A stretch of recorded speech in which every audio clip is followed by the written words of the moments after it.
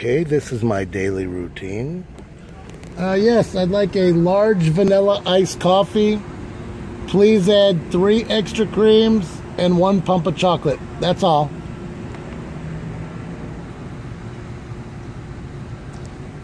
So every morning I come to McDonald's on the way to work, get my iced coffee. It's gonna be 308. Very simple for me to pull up.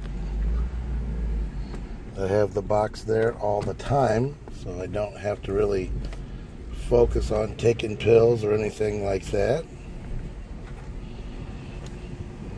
Okay.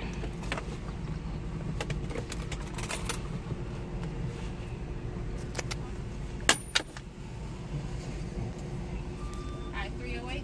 Yep. Thank you. I'm sorry, you said two hash browns? It's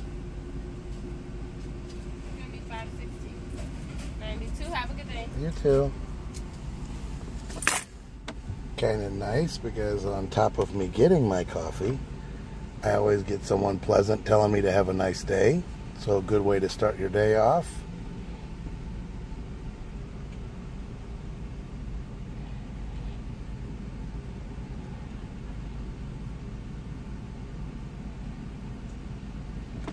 Person in front of me just got two iced coffees.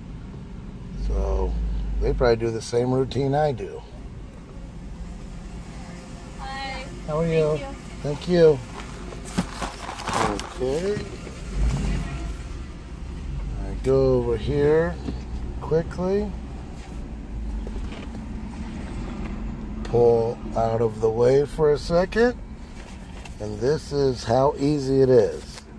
I lift the top of my coffee before I get driving to work. I grab a pouch that's in there, pour that in there like so. All it really does is add a little extra flavor to my coffee. Go like that. And stir it like so. And that is it. So, really a game changer for people who drink coffee every day and want to lose weight.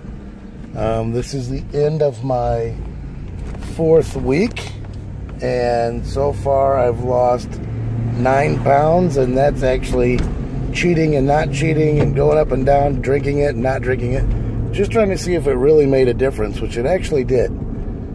So, to me, if you're overweight and you've tried every diet like I've tried and every pill, I believe finally I've found something that just fits into my daily routine and is very easy.